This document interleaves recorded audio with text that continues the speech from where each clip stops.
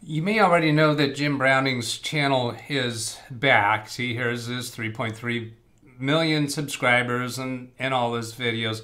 But what you may not know is that he has completed the video showing how this all happened, and it's incredible. Uh, July 30th, 2021 today. It's Friday morning, 7:25 a.m. This morning, I get this email. Let's show this over here. Right here from Patreon. Jim Browning's new Patreon patron patron only video tricked into deleting my channel. How? So go into this and we got this video from Jim to patrons for now. Uh, tricked into deleting my channel. How? This is an early view of the video I'll release on Aug August 1st, so Sunday, two days away. It explains why my channel was off air for days at the end of July 2021. Wasn't exactly my finest hour, but it does go to prove that anyone can be scammed if the circumstances are exactly right. And boy, these circumstances were really right for the scammer's benefit. There were some really amazing surprises in this video. There were a few unfortunate incidents just prior to this phishing email. This was not a targeted attack. I was sure that this was a revenge attack, targeted attack. They're just after trying to hurt Jim. Not the case at all. Now, we I, actually kind of realized that prior to this video because there have been other channels that have been taken down over the last month. This, this scam's been running for about a month, it appears. And I'll explain exactly what happened in the video. Thank you so much for your continued support. So, click on either this button here or this play button up here and this takes us to this screen. No, I'm not going to play the video for those of you who are starting to worry that I'm going to be a, this is going to be a spoiler. Not at all. Think of it more as a teaser. Uh, this is basically saying the same thing here. And then he starts the, the video running. So here's my camera three. You're going to see a, a little bit at the, at the, at the beginning the volume is, is turned down and he tells it this is a special pre-release version. So I'm not sure how much this has been modified from what he's actually going to release on Sunday. It's 21 minutes to 13 seconds uh, at, at this version. Uh, you know, he has a traditional uh, uh, bumper at the beginning, and then he shows the actual first contact that he received.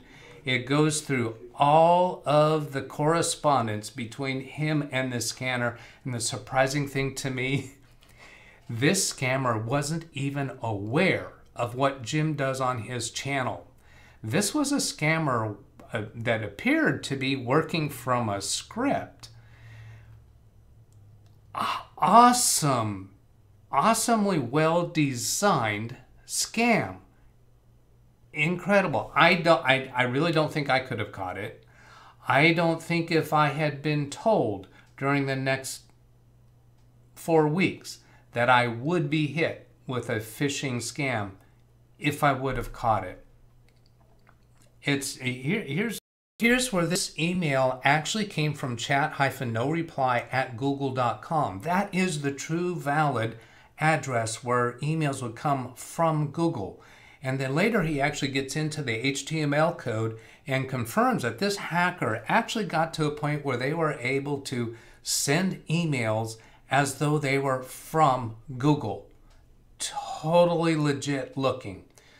The spelling, the grammar, almost perfect all the way through. Very little errors. In fact, I think I've seen more errors in Jim's typing and, and grammar in his interactions here when he finally busted the scammer and broke the scammer out of the script, then the scammer kind of fell apart. And Jim shows how all that went into play. It's beautiful. You know, here's Jim's traditional style. He'll get a scammer to connect to his computer, right? And then he'll reverse the connection and he'll find out information for him uh, from the scammer. When he actually busted the scammer and realized that this was indeed a scam, he fell right into those habits, right into that muscle memory. He turned it around.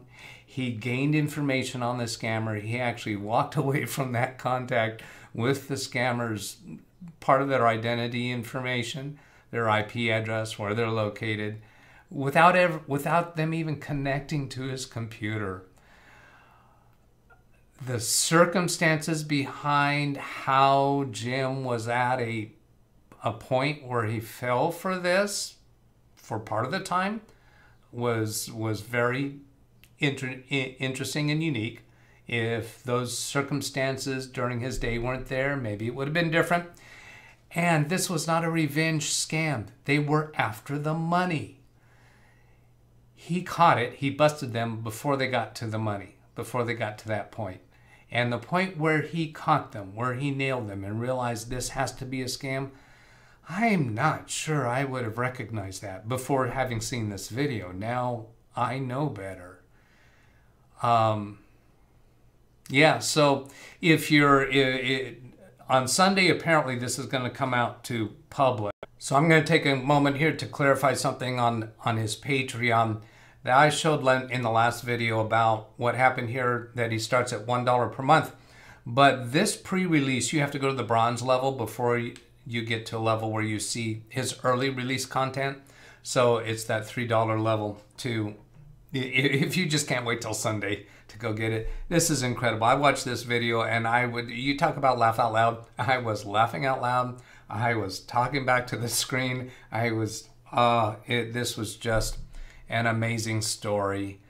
And you're still getting my fresh reaction to it because that was just about a, what, an hour and a half ago that I uh, started watching it. I'm going to have to go back and study it. Uh, this, this was just a beautiful. Now, also, once he busted the scammer, he didn't end it.